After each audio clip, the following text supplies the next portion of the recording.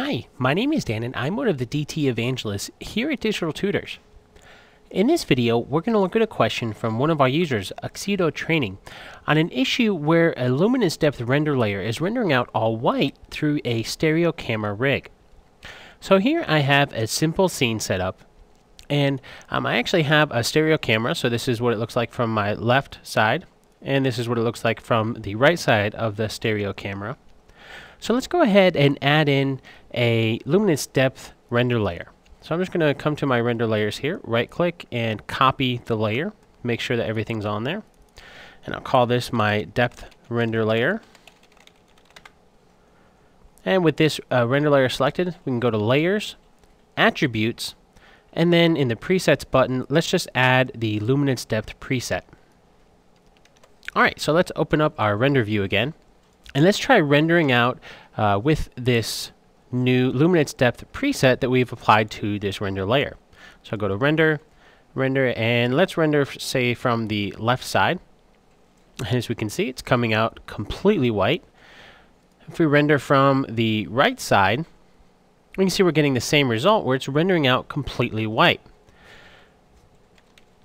Well, let's try rendering this from our perspective camera, so that way we can test to see if it's really something to do with our stereo camera rig, or if it has something to do with the luminance depth preset. So uh, we can come into render, and just render from our perspective camera. And as we can see, we're getting the same completely white result. So it's not really an issue with the stereo rig as much as it, it is an issue with the luminance depth render layer that's generating an all white render.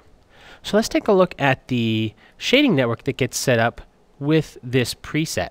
So I'll hop over to my hypershade here and let's uh, refresh our hypershade so we can see the surface shader. Go ahead and open up the input and output connections for that. Now, basically the way this is set up is it's going to use this sampler info node. If we open up the attribute editor, it's going to have this near and far clip plane value that's going to be fed into the set range in order to determine the depth pass itself. So what we can do is actually come into the old min and old max values here. If we right click, we can see this is where they're being uh, fed into. We can actually break these connections and then input values manually. Now, it's important to keep in mind when we're adjusting these values that, um, as with the near and far clipping planes for your camera, the values that you enter are going to be highly dependent on your scene size. So you may need to play around with the proper values uh, for your scene. Um, but in this particular case, I have a relatively small scene. If I check my perspective camera, we can see our uh, near and far clip plane here. So let's go ahead and enter in uh, something similar to that. Maybe something like 0.1 and 100.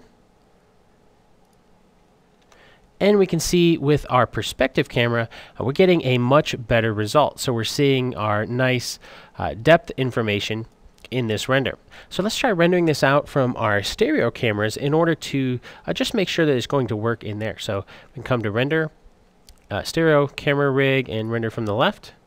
You can see that's what it'll look like. And if we render from the right hand side, we can see that that's the result that we're going to get. So now when we come into our render settings and render out our stereo pair, we're going to get our master layer, which is the beauty, as well as the depth render layer that we just created for both our left and right cameras that we can then composite back together. Now, if you want to learn some techniques for compositing stereo images, I'd recommend checking out the Compositing Stereoscopic Images in Toxik course.